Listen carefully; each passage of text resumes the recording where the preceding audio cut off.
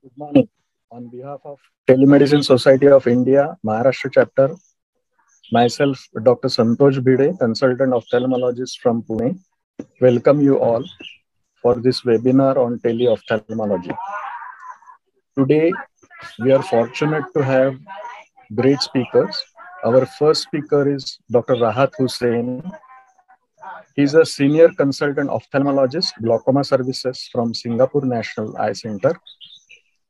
After taking training of MBBS, MRCO, and FRCO from London, now he is working in Singapore as a director of regional community eye care, Sing Health Singapore. He has keen interest in glaucoma, especially surgical part of glaucoma. He is a director of regional eye system for Sing Health, which oversees new models of care within the eye care healthcare system. He has 60 publications in peer-reviewed journals and he has 16 research studies. The next speaker is Dr. K. Chandrasekhar.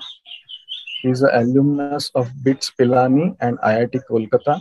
He is a founder and CEO of Forus Health. Forus Health, as we know, is working on mission of eradicating preventable blindness using technology. Forus Health has received almost $18.5 million funding for this project.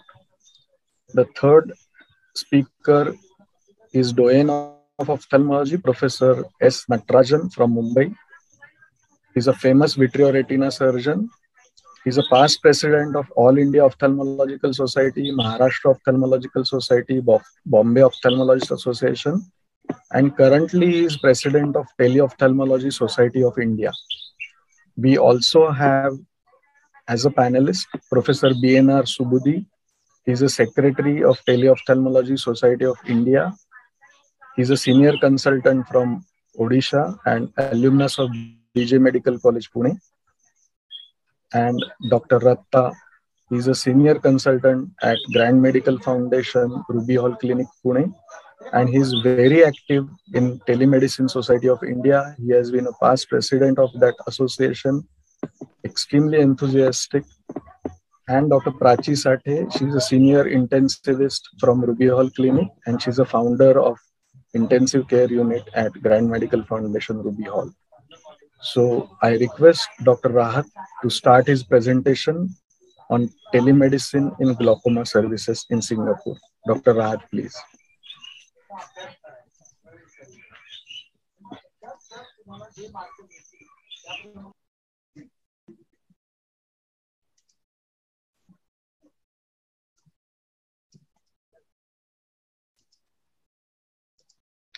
Um, good morning, everyone, and thank you, Dr. Santosh, for the kind introduction. And I'd like to thank Dr. Santosh and the committee for inviting me to talk this morning. So I'm going to be talking specifically about um, teleglaucoma and our experience in Singapore, which I appreciate may be different to the experience in India, but um, I, can, I, can, only share what, what, what, we, what we know in Singapore. So let's start with some definitions. And this is how, um, this is one definition I, I found of, of, of telemedicine and teleglaucoma specifically, is how we diagnose or monitor people with glaucoma or at increased risk of developing glaucoma without face-to-face consultations with a physician or a similarly similar trained professional. So that's our sort of understanding of it. But we have to remember, of course, that the gold standard of care, particularly for diagnosis, has always been face to face. And teleglaucoma is not meant to match those standards. However, the question we have to ask is, is such a high standard of care that face to face offers necessary for all our patients? And you can argue, in fact, I am arguing that in a healthcare system with finite resources, if a cheaper, more convenient model of care can be developed, such that an appropriate quality of care is available, then that we must explore these models. And that's what this talk is about. So do is it what's the justification for teleglaucoma now ideally all patients see a senior glaucoma specialist such as myself on a face-to-face on a slit lamp that's the ideal but in, in, in SNEC, in Singapore National Eye Center, we, we see about a thousand patients a week in our glaucoma clinic. Now, I appreciate that's probably small numbers compared to um, some of your clinics in India, but for us, it's, it's a busy clinic. And we just can't manage those numbers, which are increasing year on year. So we needed to really design a system whereby hopefully everyone is managed safely and appropriate to the severity of the disease. Um, and the first question we asked is, is, is glaucoma suitable for telemedicine? And I think, you know, medical retina certainly is one of those specialties where tele- telemedicine has really taken off. Um, and glaucoma is a little bit lagging behind. Um, but what the way we regarded it is that we thought, well, what's the most important question that as a glaucomatologist we need to, to answer? And, and that is, is the patient's disease, specifically glaucoma, deteriorating? And nowadays, of course, we are almost entirely reliant on visual fields and or OCT scans, as well as, of course, VA and IOP. And it occurred to us that actually these do not require a face-to-face consultation. And in any case, even if it is a face-to-face consultation, these things are done anyway. So if we were to develop a model in which case, in which visual fields or OCTs, VA and IOP were done, it would not require any extra tests to be performed. So the answer to the question is yes, glaucoma is suitable for telemedicine. And we, we, we listed down a few key concepts that our teleglaucoma model would need to, to, to address. And firstly, is what type of individual is a model designed for? In other words, is it for screening? Is it for glaucoma suspects? Or is it for patients with established glaucoma? And of course, it can be all three, but maybe tweaks to those models would be needed. What data would be needed? Well, I've sort of answered that before in IOP, VA, HVF, maybe OCT, and maybe even fundus images or anterior segment images as well. How will, where will these data be obtained? Now, um, in Singapore, we're trying to um, uh, get as many tests done or, or, patients seen in the community setting rather than in the hospital setting for various reasons. Um, and so that's where that's we felt that was important. And of course, what are the personnel involved, both in the, the acquiring the data as well as making those management decisions? And we were fairly clear from the beginning that we wanted ophthalmologists to remain the people in charge of making the management decisions. But in terms of the people who uh, acquire the data, for example, the HVF or the OCT, um, it could be nurses, optometrists, uh, technicians, even perhaps patients themselves. And of course, nowadays we also have to be ensure that data are saved, uh, uh, safely stored and transmitted. And so we had to think about how we're going to um, um, uh, transmit data. Of course, when we designed a model, we needed to, we needed to show that it was safe, cost effective, importantly, and acceptable to both the patients as well as the uh, healthcare staff. Um, and and um, and of course, we have to bear in mind that this model is not always going to be applicable to you know all healthcare institutions or all all populations. Of course, it depends very much on the population profile and and the uh, healthcare infrastructure. It, implementing such models um, is has proven to be quite difficult in actual fact. And and i think one of the things we need to understand when we implement any model is an understanding of risk. Now what do i mean by that? Well of course we all know that glaucoma is a is a serious disease and can lead to blindness. But thankfully the vast majority of patients with glaucoma do not go blind. And you know when we when we were trying to implement this model which i'll explain a, a bit later um, we were finding that um, people were not adopting the model in the numbers that we were hoping. And we felt the reason for this is that um, particularly junior staff who are less experienced tend to have a, a skewed notion of uh, risk. In other words, they feel you know every patient has a risk of going blind, and therefore we need to see them face to face. Now, of course, every patient does have a risk of going blind, but it's quantifying that risk and putting it in perspective. That's what these models need. And I often tell my juniors to, to think about this question when they're deciding whether to send a patient to a teleglaucoma model is what is the chance that this patient will go blind within their lifetime? Now that chance will never be zero, of course, but if that chance, if that risk is relatively low, then alternative models to face-to-face need to be considered. Now, this is an interesting paper which I always um, uh, uh, like to show. This was taken. This was from uh, 2014 from, from, from Moorfields Eye Hospital, and um, um, Institute uh, of, of um, Optometry and Vision Science at City University in, in the UK. And to, to, cut a long story short, they, they modeled the risk of um, uh, people going blind with glaucoma within their lifetimes. This, this was a modeling study. And I've highlighted in red what their, their findings were. And they found that more than 90% of people, patients predicted to progress to blindness had a mean deviation of worse than minus six decibels in at least one eye presentation. So looking at a different way is that if a patient is presenting with better than six decibels of mean deviation loss, they have a less than 10% chance of going to blind within their lifetime. And that, that gives you just a rough ballpark as, as to how, how to, how to um, understand risk of visual loss. And that helps you decide in which sort of models they need to go into. And so that's what I often tell my juniors.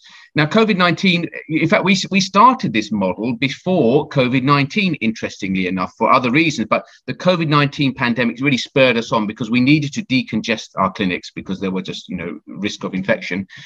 And we also wanted to minimize ocular morbidity. In other words, we couldn't just defer everyone's uh, uh appointments uh, because with that, you know, some people may go blind. So we had to think quickly how to do this decongest our clinics as well as minimizing ocular morbidity. And that sort of spurred us on.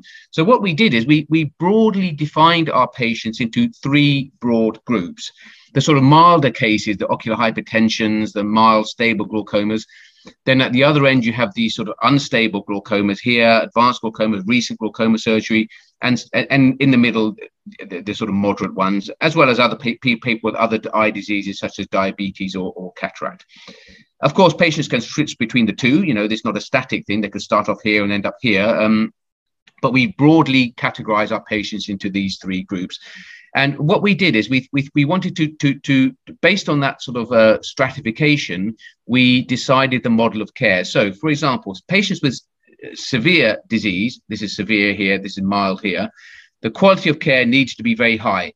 And these were patients we seen in our specialist ophthalmic clinics. They'd have a slit lamp examination and two way communication between the patient and the doctor. In patients with slightly less severe disease, uh, the quality of care is slightly less to match the disease severity. And so we, we did this something we call VidCon or, or video consults, where the patients would get an investigation, a test done in the community, and we'd do a video call with the patient about a week later. So it enabled, again, two way communication. So not quite as high quality care as here, but uh, not bad. And then in the uh, less severe cases, we would do virtual clinics. So they'd have the investigations, the, the visual field or whatever in the community. We would review the week's uh, notes a week later. And then we would write to the patient, or in fact, we're doing SMS now. But that's just a one way communication. We don't give the patient an opportunity to feed back to us unless they you know contact the, the center and i'll be talking a little bit about this in a moment i'll, I'll be showing you um, uh, uh, the model that we're using and then finally, we're not quite here yet. Um, we are for our retina department, but not quite for us. But there's some sort of home monitoring app to monitor their condition, and they communicate to the doctor if there's a problem. This is again one-way communication, but this time from the patient to the doctor. So this this way we try to match the disease severity with the quality of care while still maintaining some degree of safety. So we called our, our virtual clinic the Glaucoma Observation Clinic, or GLOC for short. And this is what happens. So a patient will come to an IUC, and an IUC stands for an investigation unit in the community. Now, this is typically a standalone room or a, a building where, and it's staffed by generally ophthalmic technicians or a nurse and it has a, um, um, uh, uh, a visual field machine and an OCT machine, sometimes a camera, um, the, the nurse uh, has an iCare tonometer, and the patient will come to this IUC and get the relevant tests. For example, visual acuity, um, uh, uh, IOP, and HVF, for example. The nurse or the technician will and ask them a very simple question. Any change since your last visit? In other words, any change in your vision, any change in anything you want to tell me since your last visit. And we deliberately wanted to keep that question quite broad and quite simple to allow the patient to feed back to the nurse anything they wanted to tell us. For example, they may say, Yes, I'm getting my eyes are very itchy, or they may say, My vision in the right eye has deteriorated, or I'm getting pain, for example. And the nurse would then document the answer to this question in the electronic medical records and would get the appropriate test. The patient would then go home. No waiting to see the doctor. We, however, would then review the test results remotely as well as the what the nurse had written down to this question.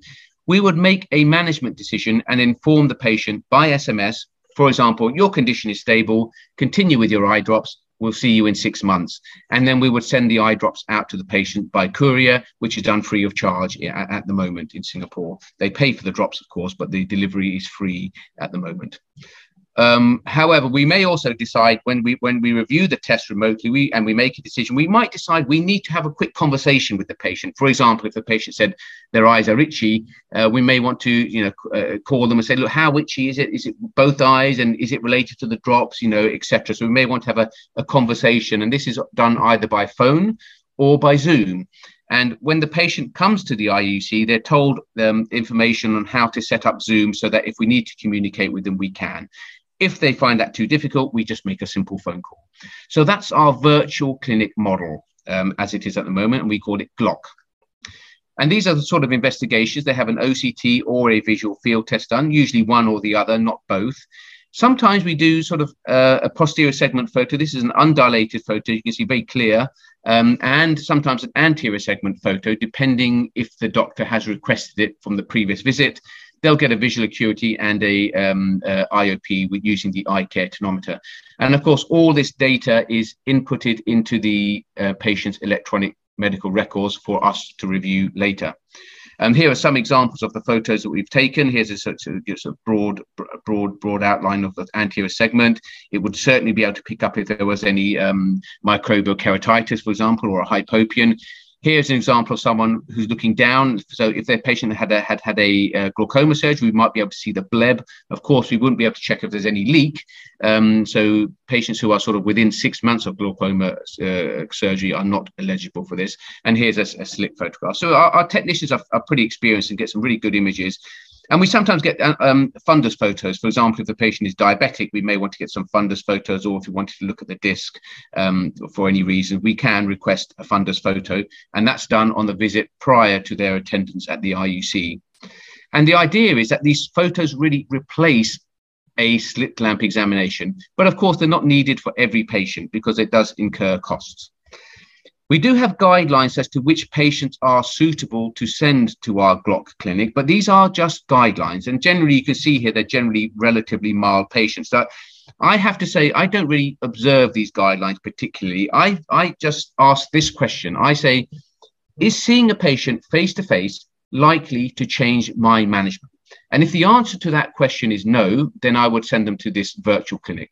So at the moment in my clinic, I'm sending around about sort of 30 to even 50% of my patients for their next visit into the virtual clinic because in most cases, seeing the patient face to face is not likely to change my management.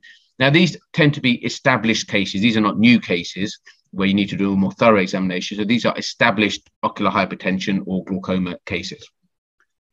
I'm just going to show a video now um, and to, to, to, show you how it sort of works in practice. This, this is a video we actually show to our patients as well. I hope this works. It's a three minute video.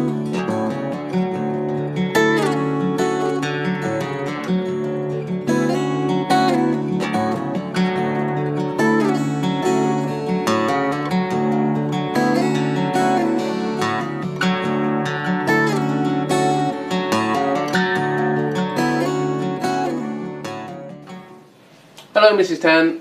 I'm Dr. Rahat from Singapore National Eye Centre. How are you today?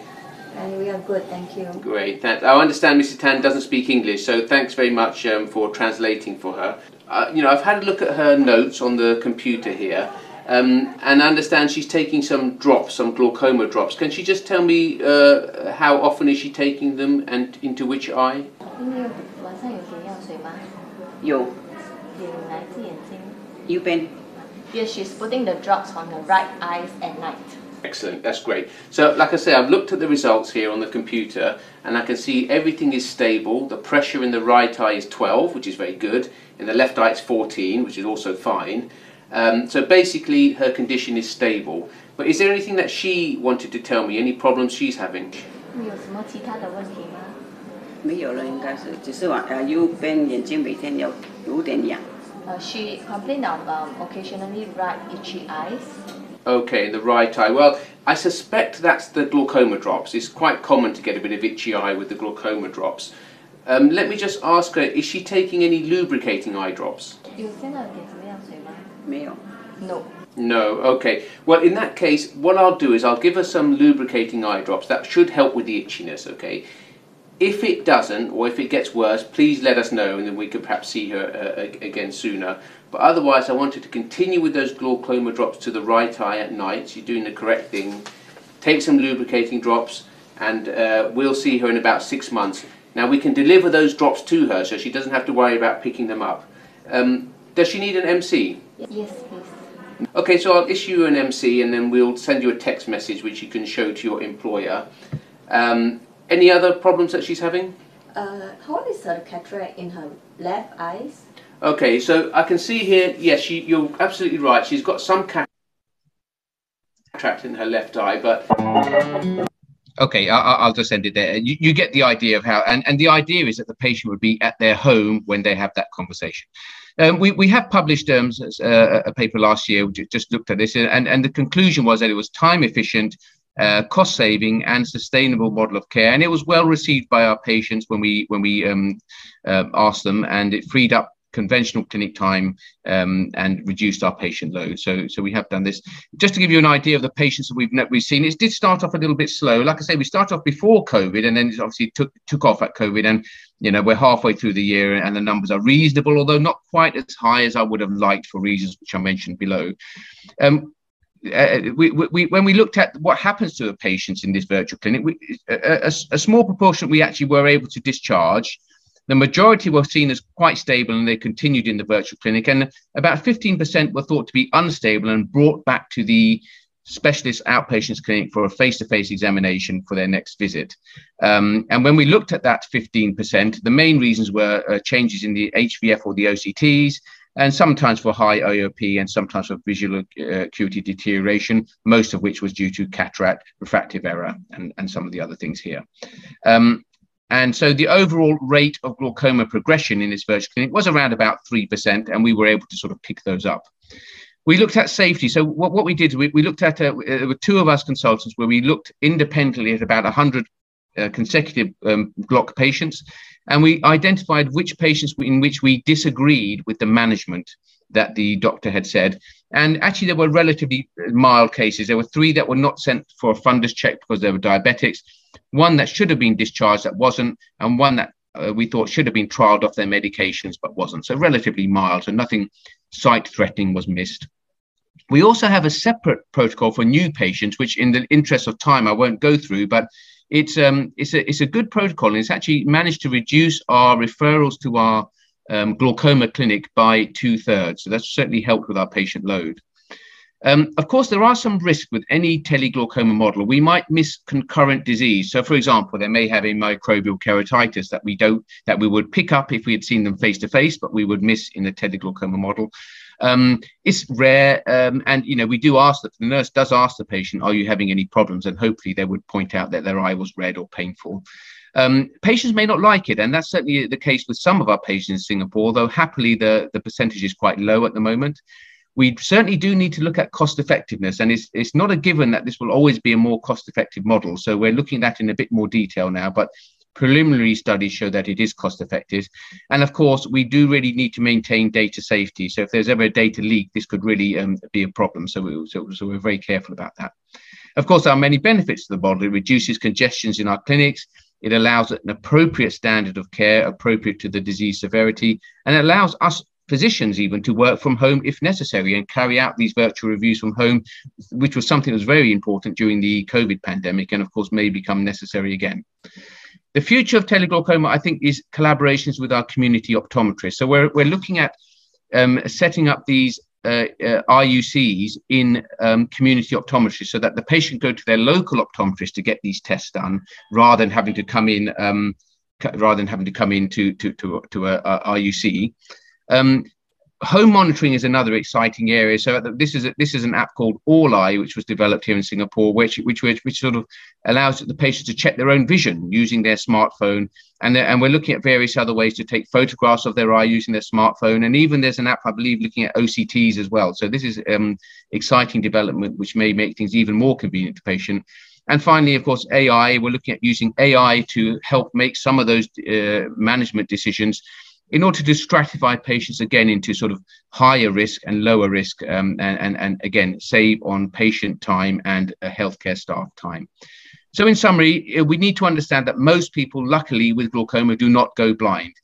And so we need to devise, devise new models of care so that patients with mild disease are managed appropriately and safely.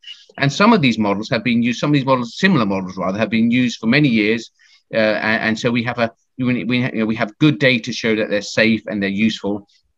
And using these models, of course, will allow us to spend more time looking after patients in our clinic who are increased risk of losing their sight so that we, we, we can see those kind of patients face to face. Um, thank you very much for listening. Thank you, Dr. Rahat, for an excellent presentation on uh, glaucoma screening by using telemedicine. I have two questions for you. One is regarding compliance of the patient, and second is medical legal aspects. So, are there any medical legal implications uh, you foresee, or maybe you have faced?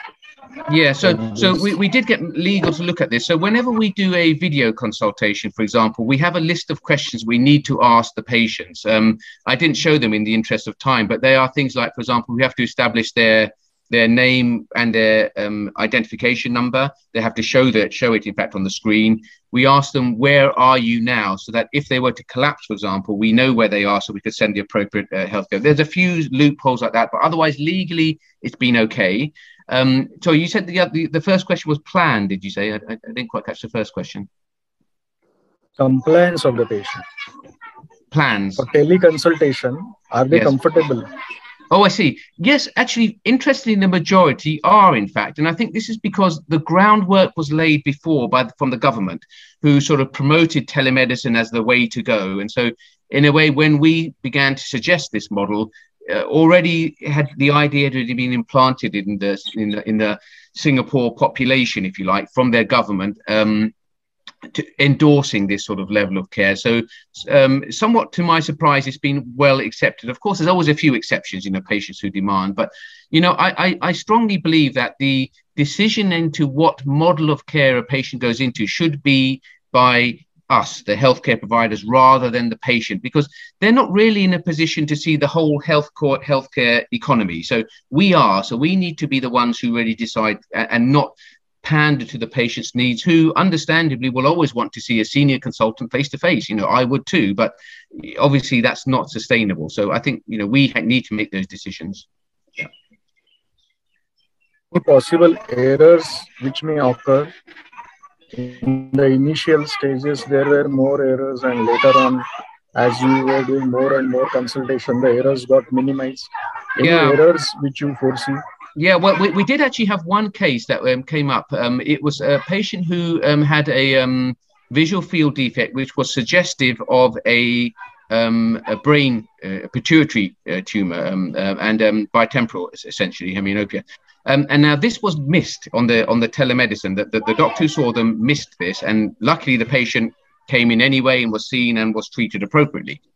Um, however, when we looked at this, I, I, felt this was not a fault of the model. This was simply a fault of the doctor picking up that visual field depth, which happens to all of us. In fact, I've done it myself before. In fact, so you know, um, and if we had even seen that patient face to face, it's likely that doctor would have made the same mistake. So um, it's sometimes quite difficult to tease apart any problems that might occur naturally due to normal human error, as opposed to blaming the model. And so far, I'm pleased to say that there's been no specific case that we can attribute to the model itself. Feel that this model is going to be a future of glaucoma management. I think it has to be in Singapore. Yeah, yeah, because we just can't we can't cope with the numbers essentially. Um, so we, we, you know it has to work, and it. I think the difficulty now is trying to make sure it does work, and that's that's a that's a marathon, not a sprint, actually, and it, it, it involves a real culture change in the healthcare providers, um, and and that's the problem we're facing at the moment. Okay, thanks a lot, Dr. Rahat. Dr. Bhide, uh, may I ask yes. a question? Yeah, yeah, please, please. Yeah. Uh, uh, Dr. Rahat, fantastic lecture, very, very interesting. I am Dr. Mankar. I'm the founder of Doorstep Health Services, and we provide primary care, which is telemedicine enabled in the community. I have seven clinics in very rural parts of India, and I'm very, very enthused to see this kind of a model where maybe we could run an opthal clinic where the uh, where we can uh, sort of, you know, um, screen patients for glaucoma and so on. But I was looking at all the equipment and it looked pretty static and not portable and fairly expensive. Would you say something about uh, that part of it? Like, can we move the equipment around? Is there such equipment available which is portable? Yeah, so, um, I think it's a, it's, a, it's a good question, I think. Um, we do actually have a iBus which has this equipment which can move around, in fact. However, um, it's in Singapore, as opposed to India, which is a much bigger place and rural communities hard to reach. In Singapore, it's not such an issue. The, you know the, the the transport infrastructure in Singapore is really very good, and so patients coming to a fixed location where uh, you have a an OCT scan, which is in an air conditioned room, so that you can maintain it well, is actually not that difficult. Now, so that, that's why I started off that lecture by saying that you know this model is not appropriate for all you know populations and and healthcare infrastructures. So for India, I suspect it may not be so relevant apart unless you're in a city perhaps you know so so it's very specific to singapore but i do take your point and and the expensive equipment is also very relevant because we need to look a little bit more carefully to the cost effectiveness and make sure that we're not actually producing a more uh, a, a costly model yeah, thank you. Thank you so much. Thank you very much. Uh, Santosh, can I answer? Uh, yes, sir. Yes, sir. Uh, I had an excellent uh, talk, and I think uh, I work with the, the Retina guys in SNEC. Oh, so I know they're yes. doing a lot of uh, telemedicine for diabetic retinopathy screening. So, mm-hmm. Dr. Mankar, I want to say that we had the first model thanks to KC in 2014. We have we carry his uh, Forus camera on the motorbike. So that's a portable, uh, and we can take it in the motorbike. So you can. He's made a box, and uh, uh, you know also he's making some more equipments which can be put, which probably KC will send the new one. Amazing. yeah. That's interesting. I must get in touch. Uh, he's there. And regarding cost also now, Dr. KC will tell us about costing and. Yeah, Chandrasekhar is the, India, the CEO of uh, Forus, and Forus company has come out with for both glaucoma and diabetic retinopathy screening on a hmm. mobile model with the hmm. AI. But I have seen that Forus uh, equipment. Yeah. It's not exactly portable because a you have to take it. It's fairly heavy, and you have to rest the chin. The chin rest which it requires, you need to fix it inside the patient's house if I were to take it home. So to that extent, it's not portable. Okay, maybe KC can answer. okay. KC for his talk. Thank you for the wonderful. I, I have a question, Mr. Rahat. Yes. Dr. Rahat. Yes. Do you do you combine the glaucoma and the DR screen simultaneously? Same uh, thing? Can we? Yes, but good question. So so we we we it's quite complicated actually, but the short answer is yes but it depends on how bad the glaucoma is and how bad the diabetic retinopathy is. So we do have a model where you can do a virtual ret- retina, uh, you know, diabetic screen and a virtual glaucoma, but we have flexibility that allows us to change between the different models depending on the severity of each condition. Yeah, so we, we have a sort of protocol and a, and, a, a sort of um, X Y thing where you can sort of match it and, tells you wh- which model to send it to. Yeah. So, but that, that's a common scenario as, as you as you point out. Yeah, but in, in our country, India, if the person, the optom or ophthalmic assistant goes to the village, he can do both the simultaneously, both the mm. DR screening and the glaucoma screening. So it can save time. Yes. And it yes. economic also. Yeah, yeah, we, we, we certainly can, but again, it's about cost really, it's because of course not everyone will need di- not everyone will need diabetic screening. So w- we pick the ones that need it and get the appropriate test done for those. But so it's not it's not a blanket test for everyone. We we sort of pick and choose because the patients have to pay, you see, for every test. Yeah, yeah, yeah. Okay, so over to you, KC. Yeah. Okay. So um, thank you everyone for uh, giving me this opportunity and probably uh, thanks to Dr. Rahat for setting the um, you know context and probably I'm going to present a few things which are uh, uh, connected to what Dr. Rahat said, and probably in the process answer a few questions of Dr. Suchitra. So, so I am uh, trying to generalize on um, looking at many aspects, um, looking at multiple screening. So there's also uh, Dr. Subudhi asked this question like, can you not do two together or three together? So um, my take on the whole thing is to look at how do we uh, take a digital platform approach uh, to high volume community eye screening. So uh, it's going to probably answer a few questions one on cost effectiveness uh, one on multiple uh, uh, you know disease patterns being ma- managed and then third on compliance. So that's the overall objective i'm trying to kind of uh, bring in in the platform approach.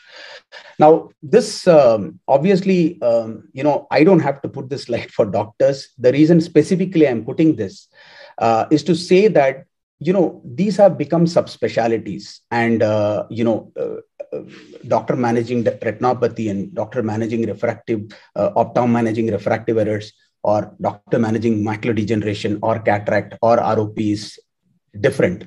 So um, can we build a single system uh, which can be modular?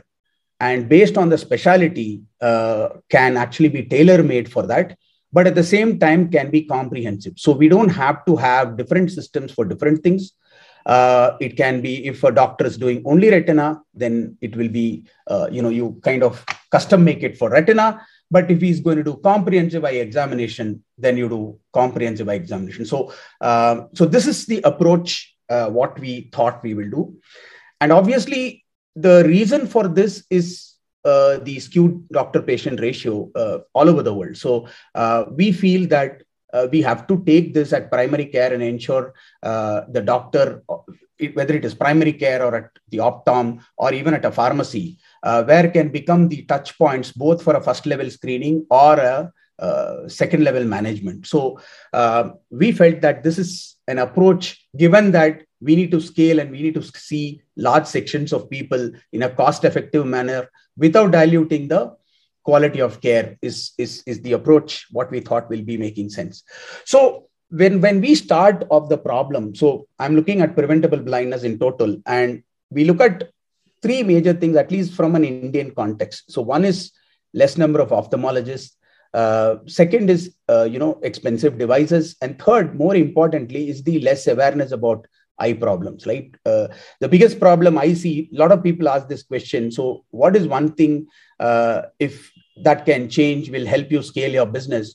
I think one thing which can help us change our business is awareness, uh, public awareness, right? So the more public uh, are aware about their problems, they voluntarily will take certain activities, uh, which will not only help themselves, but also help the doctors. Uh, it will also bring down the burden of uh, you know economy uh, when when they're actually working because they can go blind. So when we look at how do you build this model? So the basic thing is it has to have um, right from day one a scalability, right from day one cost effectiveness, and right from day one the business models have to be correct in order to scale these kind of activity.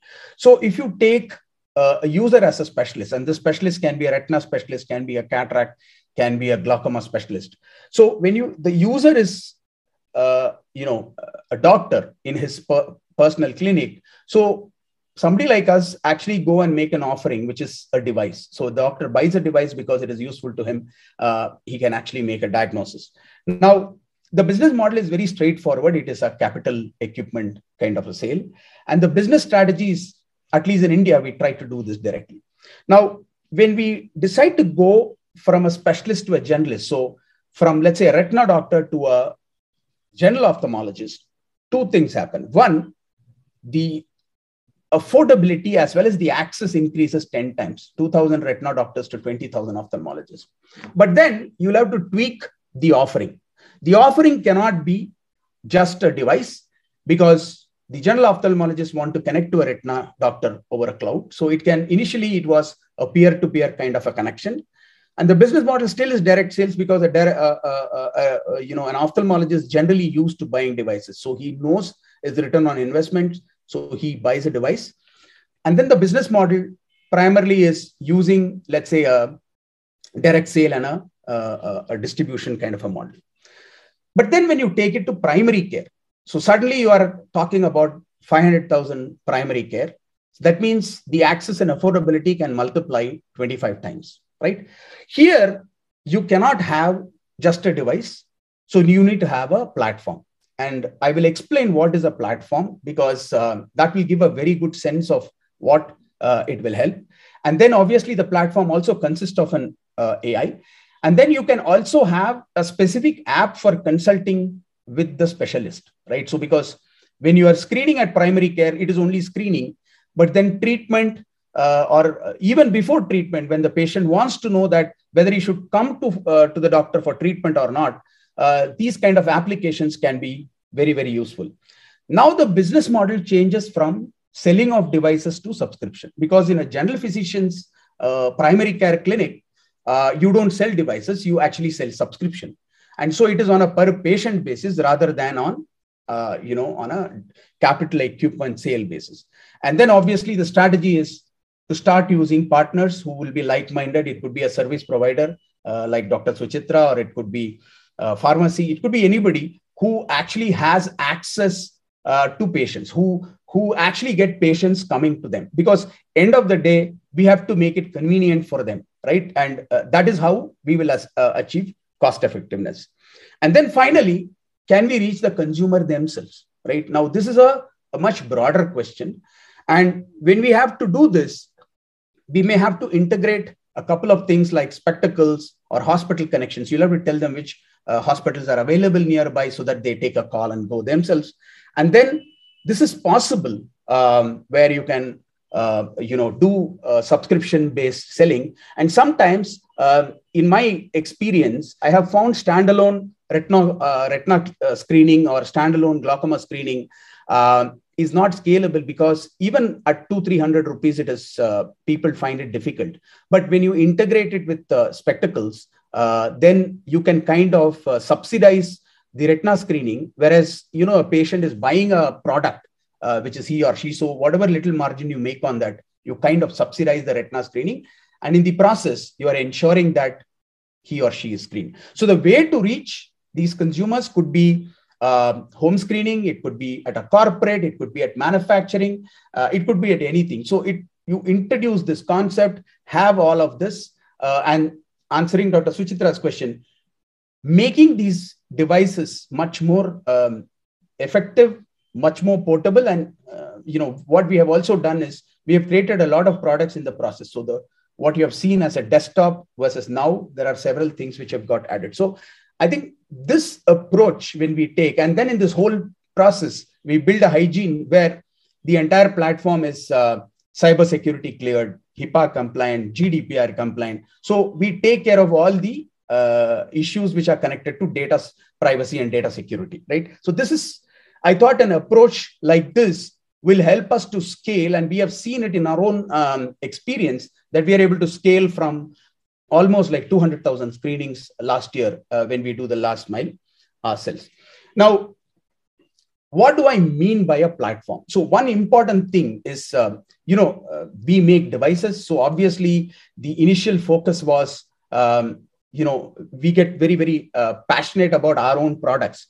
But when you decide to go into a platform kind of an approach, you have to not only integrate your own devices, but you have to integrate complementing or for that matter even competing devices. So even though we make fundus cameras and kind of compete with topcon or nikon we have integrated their products also. So it is not about because if a hospital has already got a product we don't want to waste it. We want them to reuse it much more effectively so the first thing of the platform is connected devices and these connected devices will actually have different applications in different so when it is in a hospital it'll have a different style. When it is in, let's say, a rural clinic, it can be a little more portable. But uh, you know, one important point which I always feel is that uh, some of these portable devices, especially in the retina, um, if you're doing for the first uh, first time screening, I always believe, especially with old patients, it is always good to have that with a chin rest and all that because that is when you get cooperative patient. So we have created a product which will actually be integrated single where you can go and put it on a kitchen sink and take an image without compromising, not making it handled. Right. The second thing is actually integrating teleophthalmology, which is it could be tele retinal imaging, it could be tele glaucoma it could be anything, which will have an audio video connection. So it, you don't have to have multiple platforms, have a single platform. There are many doctors. So it can be used where a common man, where you put it in a corporate and many doctors are in the, uh, in the platform. This can be tailor made for a hospital, which is using its own vision centers with its own doctors. So you don't need to run multiple platforms. The same platform runs.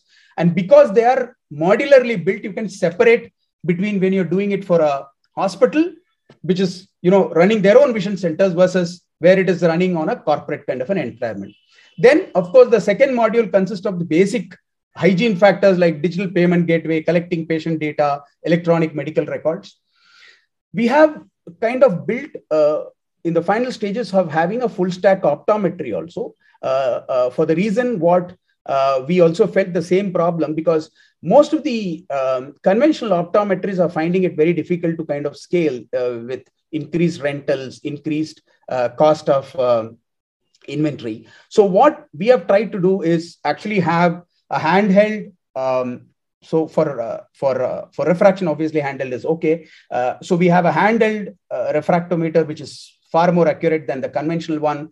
Then we have a wearable phoropter which we have created, which can actually help you know like in India, you can send this device by Dunzo, and then an optom can be from somewhere, and then he can actually get it onto your screen and change your power sitting somewhere. So the device can be uh, the wearable phoropter doesn't use any um, variable lenses. It has a couple of only two lenses, and you can sit in Delhi and kind of in deep Orissa change uh, the subjective power. And in case an optom is not there, we have the teleoptometry platform.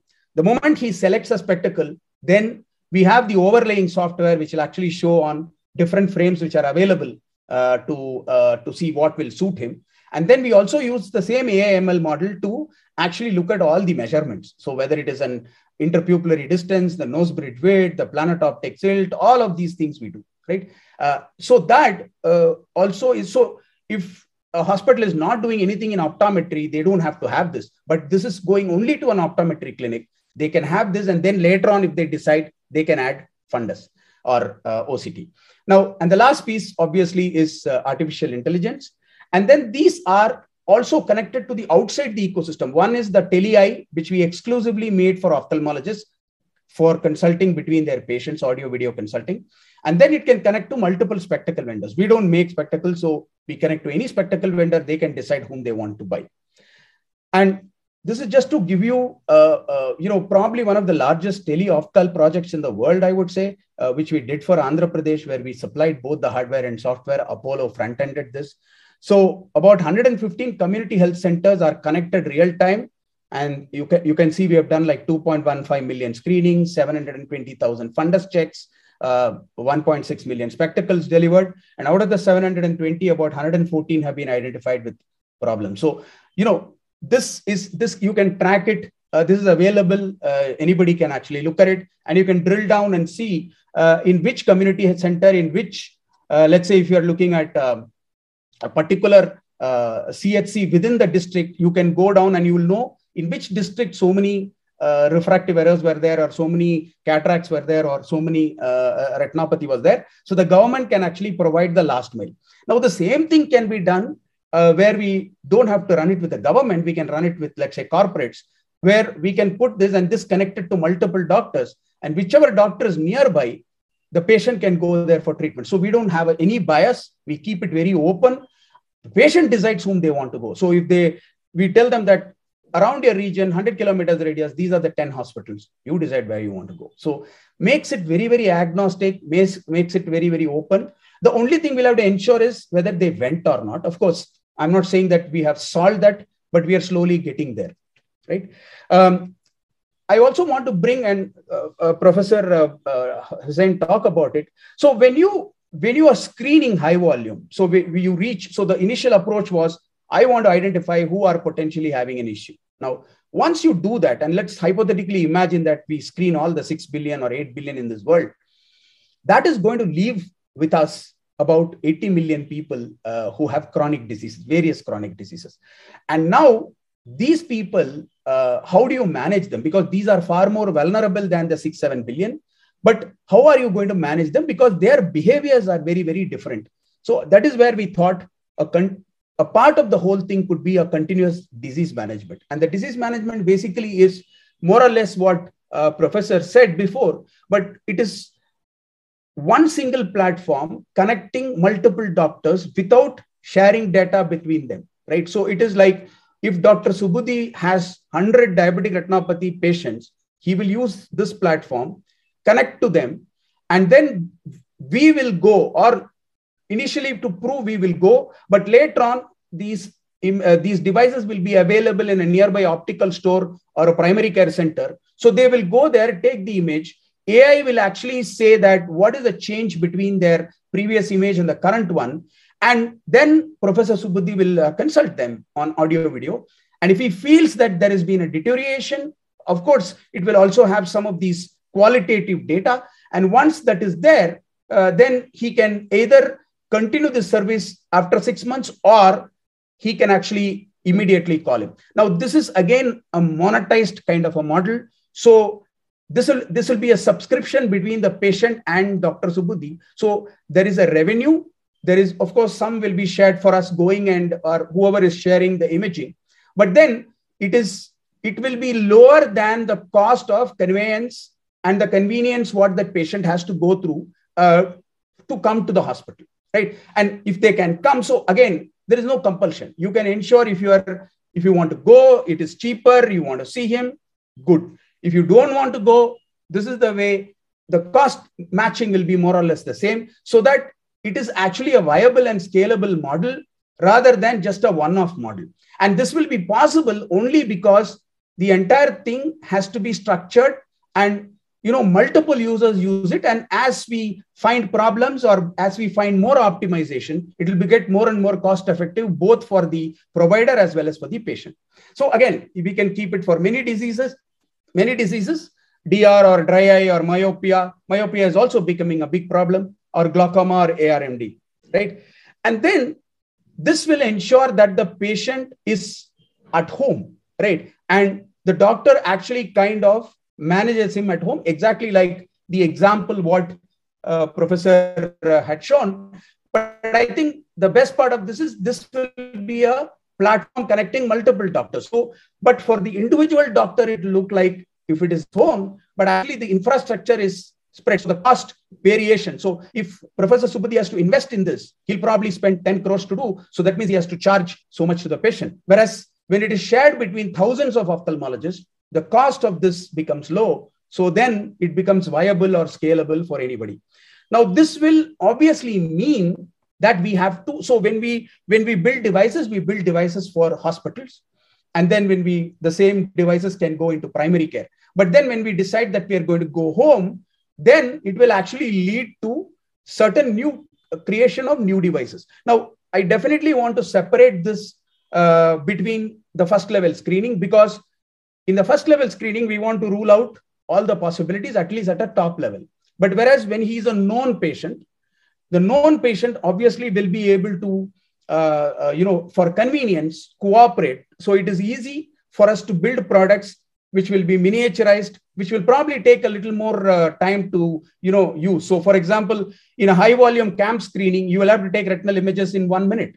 Whereas when I go to somebody's house, I have the luxury of doing it in five minutes, right? He's not going to feel threatened. So we can compromise on few things but not compromising on quality of care. That is very important because these devices can be built which will whatever gaps are there can be closed uh, when when we find uh, you know when we're going for these home kind of screenings right?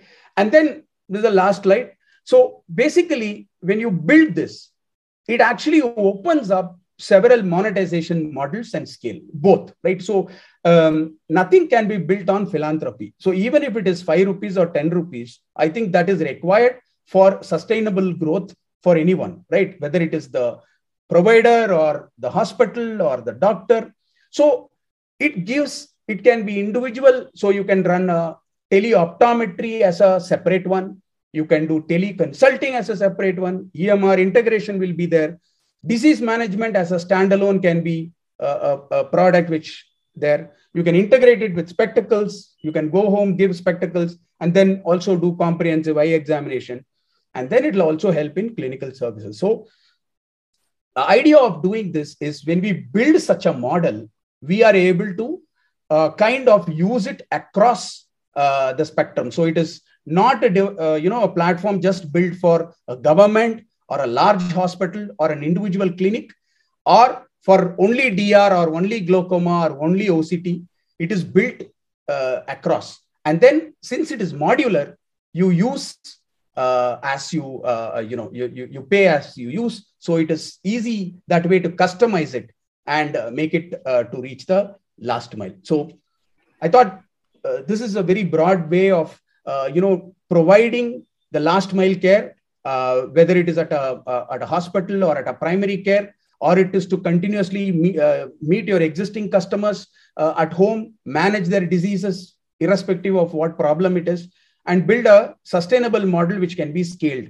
And then, of course, there will be a lot of cross learnings which we can help each other to uh, kind of optimize and be much more cost effective. And as we keep going, obviously, we can build it far more better. Um, you know, whatever gaps we are seeing or whatever issues we are seeing, we can kind of correct it over a period of time. Yeah, thank you. Any questions for him? Professor Subudhi?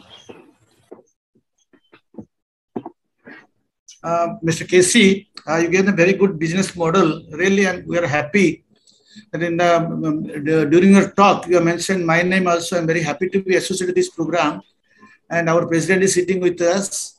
So definitely we look forward. But there are certain issues in our country, you know. Uh, many times the people they do not come forward the awareness is a different casualty, you know. Most of the times the people are not aware. They do not know that the diabetic retinopathy can lead to blindness or glaucoma can lead to blindness. These are the issues. Second thing, as you said, ophthalmologists are very few in our country. The number of doctors, eye doctors practicing in the rural area is very, very few. So we can utilize the optometrists.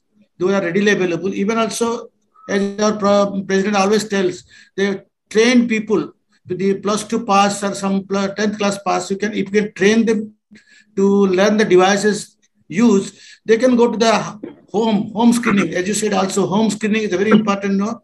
Go to the home and at a particular age of more than 50 years, we can do a screening for glaucoma, for a cataract, screening for the retina, everything.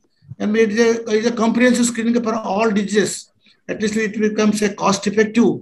And I think uh, also it is useful to the patient and you can help in the reduction of the national blindness. So in this process, definitely we look forward to Mr. KC to come with a device. It should not be too much expensive. You know, it should be very handy so, and easily. Sir, easily to, sir uh, it is going to be purely on subscription. You don't have to spend upfront. It, it should be usually, I mean, um, easily handled by the people, you know, this uh, uh, health workers or like that. So that's our aim. So that's why, please, I think uh, come forward, we coordinate with you. Dosi welcomes you to our fold. And I think uh, we look forward to your contribution in the coming years. Sir, Thank I, you, sir.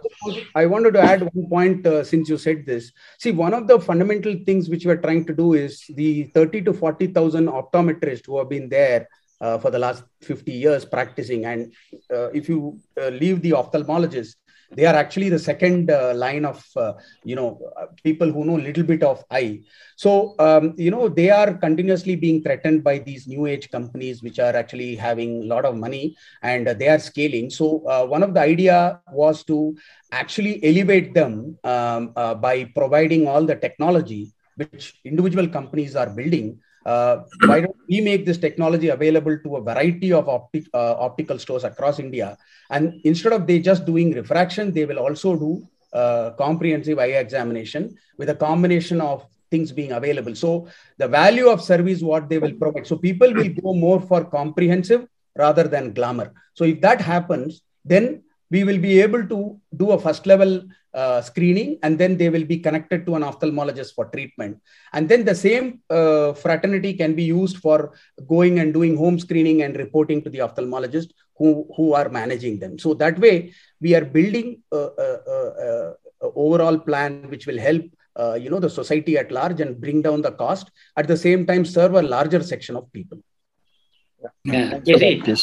I think you are also part of that. I think we had a, a meeting with optometry so we can, we yes. called it as yes. optometry of ophthalmology, where we wanted the optometrist to see and then connect with the respective doctor and then do it. Somehow we I tried personally, we didn't work. Anyhow, good. Uh, all the best for you to do that. I think that's required.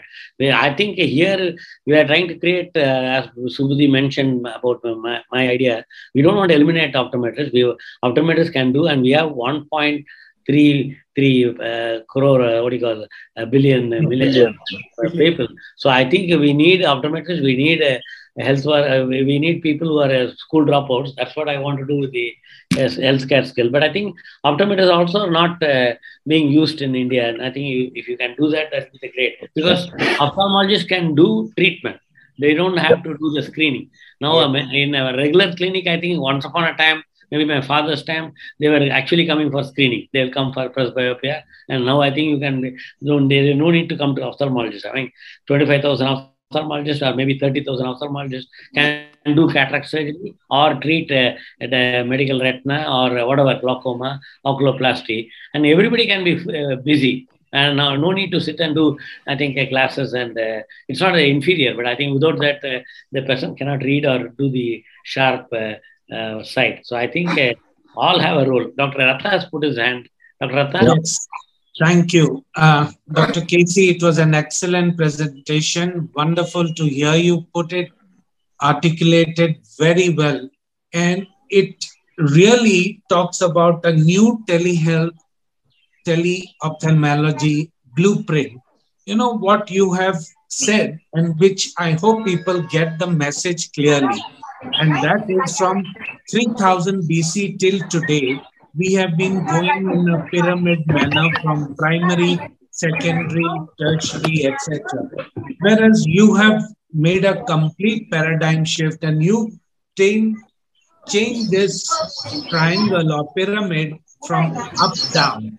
So if you have all your services on top at the community level where your optometrist, your uh, eye clinics, your uh, uh, people who are dispensing spectacles, shops, etc., and the diagnostics, whether they are in the kiosk, whether they are in the virtual clinic, and all that finally comes down to the gems of ophthalmology. You are the very few people, 20 or thousand, catering to 1.35 billion so your time, your work-life balance also needs attention. And I think you brought this paradigm shift in a beautiful manner. Thank you. Thank you, KC. Wonderful. Thank you. Now let's move on to the next talk by Professor Natarajan because um, maybe we are short of time. So no, thank you. What Thank you, Santosh, and thank you, KC, for a wonderful talk. And I'm waiting for you to start that home visit that uh, in Mumbai, which yes. uh, we will do it. Yeah, yeah, you, you have done a lot of things for us. Thank you for that. Thank you, sir.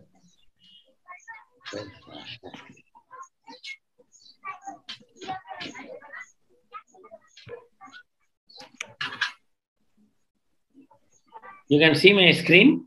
Yes, sir. Yeah, yeah. Yes. Right.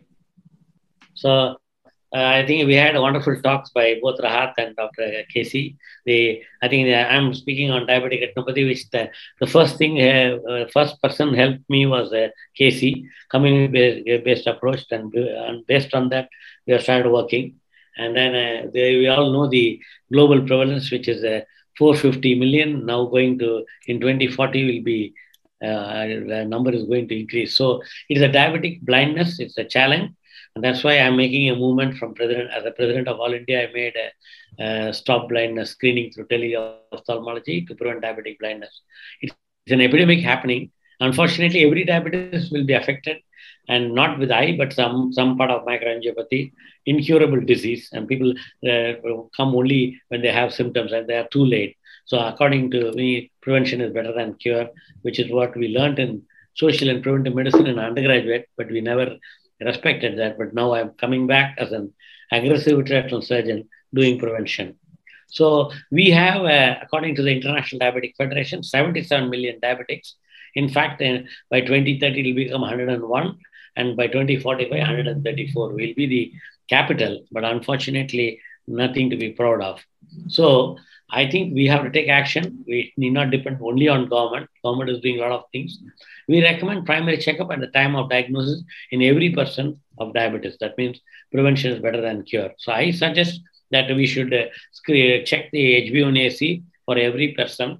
Uh, and I know it's a little expensive, but if you buy in bulk, it will be cheaper, and maybe you have to have some donation to support that. So I made this uh, uh, video. President of All Ophthalmic Society, I would like to thank. So I made this video to as a president of All India, along with the International Advertising Association, which was released in Cochin in 2019. It was screened you can have a look. The International Advertising Agency are starting this uh, competition for uh, making a campaign on preventing diabetic blindness. And I also like to thank Allergan for the generous support to make this uh, public initiative movie to create awareness on diabetic retinopathy and how to prevent diabetic blindness. So I, I use this uh, screening through teleophthalmon. Are you a diabetic, hypertensive, do you know you may go blind?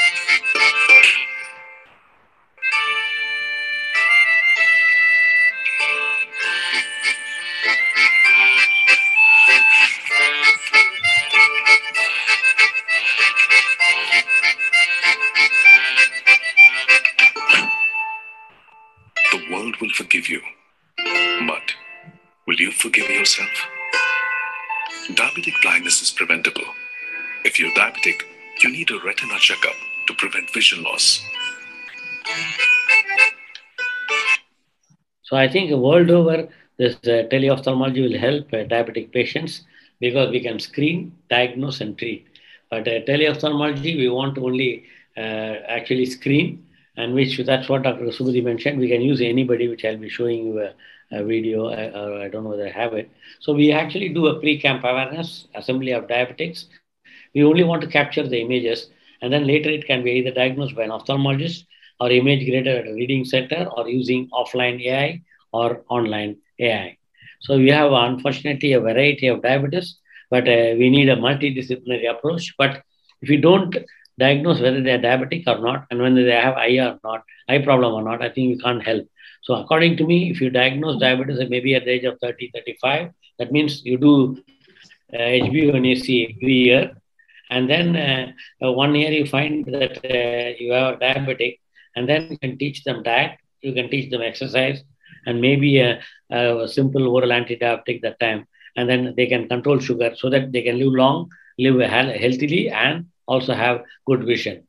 So uh, they may, the, all of us know this, but the problem is to detect that uh, as per the IDF, 58% of the India, the population with their diabetes do not know they have diabetes, and that's the problem. And we have uh, one ophthalmologist per 100,000 uh, population, and there's no uh, low awareness or ignorance of uh, diabetic retinopathy. And 70% of Indian population reside in rural area or urban slums. And uh, they do not know that if you're a diabetic, they may go blind. And that's where, in a way, you have to create scare, but at least you can get them checked. And the other technical difficulties India faces uh, unreliable internet coverage, deficit in supply of electricity in many areas, shortage of trained medical staff for operate, operating conventional retina cameras, and portability of conventional frontal camera. So the so the role of AI is a intelligence is the capacity to analyze, think, make a decision, and categorize. That's a normal decision. But artificial intelligence involves formulating especially I mean, uh, algorithm according to needs to develop this capacity and include it in electronic device like smartphones. And uh, so this I use, uh, uh which is more uh, mobile, as Dr. Um, Sujitra was asking. So this is another one. This is also heavy because you have to carry that infrared device and connect the uh, this one. We also have a chin rest for this. It can be mounted on a mounted on a, uh, a, suitable bike for transporting, and can be it can be chargeable. So the phone and the infrared device is chargeable, and I that's why I use the coin. Anybody can screen diabetic retinopathy. We have got about 30 staff, and most of them are school dropouts and we have trained them to take retinal photographs. So we have a, they just take the photograph. They they know to do the blood test and they can take the photograph. And after that, we can use AI and then or you can use the ophthalmologist and uh, people to uh, screen, which is what we have published in JAMA Ophthalmology. And this is the uh, the the not the first one, the Remidio one. Anyhow, both I don't have any financial interest and I have both the cameras we use in the community. So here, this is a iPhone attached to an infrared device, and they use a software called Medios. So they take the boy takes the image and puts it on the Medios image, and it will say whether it is 99% or 100% uh, uh, good image, and then it picks up the abnormal color. That's what uh, the AI will pick up. That means it will show the there is a blue color which is marked, which shows that uh, there's the area of retinopathy. And then we also have made a software where it can be say that this patient needs referral. That means referable diabetic retinopathy. You can see the confidence is 99%. So that way you, you can know whether the fellow has taken a good photo or not. And this is a, a, a main point is awareness. My my late father, Dr. Enasundram, was sitting there with a tie. He was always insisting that I should go and create awareness. This is a, a school, primary school in Dharavi, where he made me teach them uh, what is diabetic retinopathy and teach them uh, to teach to tell them that uh, question answer. The reason I asked him what's the point in teaching them diabetic awareness to these young people, he said that their parents and their grandparents may have diabetes, and these children will go and ask them to do it. You know, it, in a way, it is the right thing. So he said nobody should go blind just because they are they are unaware, and I say that they should not go blind just because they don't have money. So both we are matching in our foundation and I have them in their my parents' name, Kamala Sundaram Foundation. And the success of the diabetic retinopathy program depends on capacity building by providing necessary human resources and equipment in the health facilities to carry out screening for diabetic retinopathy and eye disease. The Remidio and uh, Forus by KSC, they are making the instruments. Somebody has to give the funding, and, uh, thanks to Ratan Tata Foundation, who gave us the initial funding for doing the screening. We are now doing continuously with the the uh, Bombay Municipal Corporation. And pediatric training of the healthcare staff on diabetes screening, DR screening, and management of diabetic retinopathy and other diseases. And that's what we have taken the task. So we also discussed with the Shroff Charity, where we can both do the training and then we can get a certification from Skill Development Corporation of India, which is what we have made. And Dr. Subudhi is here. I have to send him the MOU which we made as a president of All India. Now we'll make it with Teleophthalmic Society of India, so that any illiterate or not illiterate, any person who's a school dropout uh, can, uh, even illiterate can be trained because most of them know to use the mobile phone and a smartphone and they can take retinal photograph. So we, we, have, we have trained and employed youth of India, even with minimal education or no experience in retina camera, to reach out to save vision of millions. So this is what is my, my dream. And that's what I'm actually doing Tom Tom from 2019 when I became president. I know sometimes it looks like uh, deaf ears, but I'm happy Dr. Ratha is taking some pictures. So I hope uh, people like him will, and also KC will uh, spread this message so that I am actually want to promote every person who makes retina camera or anything to do with the eye for the rural eye care because uh, all of us originally come from a rural India and uh, I'm happy, Doctor. My grandfather was eye doctor who worked in uh, Ganjam district where Dr. Uh, Subudhi hails from. So the idea is to we can make a system without uh, electricity, without internet, better chat time. This is what uh, Dr. Ratha commented that uh, ophthalmologist can use the time to do diagnosis and uh, treat rather than do screening. So timely treatment will be preventing blindness. So I request everybody, it's not only ophthalmologists, anybody should join for, for this uh, monumental revolution, fight against blindness from diabetes. And I thank uh, Santosh for organizing this. And I, I wish he could have also collaborated with the MOS. I know he's the incoming president. So I'm happy they're all our alumni. And I'm sure they will continue, uh, continue doing this because diabetes is not a one-time camp or a one-time screening. They have to do lifelong. So thanks to my fellow Dr. Aishwarya and thank you for the opportunity. Yeah, thank you, Professor, for a nice talk. And thanks again for joining us from Abu Dhabi. Yes, thank you. Those, may I speak? Yes, please. Yes, please. Yeah, I think uh, our president has already outlined uh, what we plan in the future uh, to see the Teleophthalmology Society of India. So no doubt we have got two industries uh, setups. Mr. KC came with the Forus camera and also um, um, also Remidio also with us. So probably we look forward how we can reach the rural areas. Who are the people? That's also we are planning because recently we are having some training programs too um, under the banner of teleophthalmology and eco, the two eco programs. So we are planning the, from next month onwards some training of the uh, trainers grading, grading, how to grade the retinal images. Yes, yes. Very, very, good. Whether one should train them, so whether they can uh, do it in the, referable case or non-referable case, and uh, how we can at least have a breakthrough. So 2C takes a lead, and we request all of you to join together to, with us, so we can have some some. Yeah. As our president always says that, let us hope the next five years we should have diabetic free, diabetic blindness free India. Yes. So, Subudhi, we should also do the MOU with the Skill Development Corporation of India, Delhi, and you can have the, this training part can be also joined with them because during the COVID we decided to do online, but now we can do physical. Everybody can come to many places, and we can set up multiple training centers all over India, and they can select great anybody initiative. and train. Yeah, it's a great initiative. Yeah, good. So now I request uh, Anmol, can you just share your uh, video from Entod? Anmol? Oh, sir,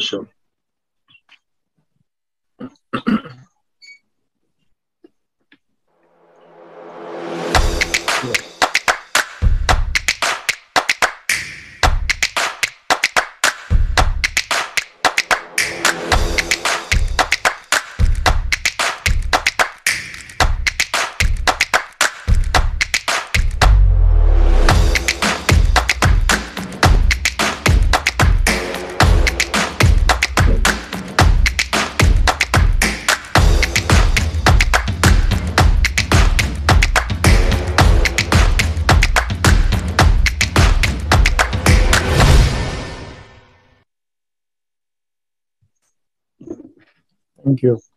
So on behalf of Maharashtra chapter of Telemedicine Society of India, I would like to thank all the speakers, Dr. Rahat from Singapore, Professor Natarajan, and Dr. KC uh, for accepting our invitation and uh, giving us uh, excellent talks.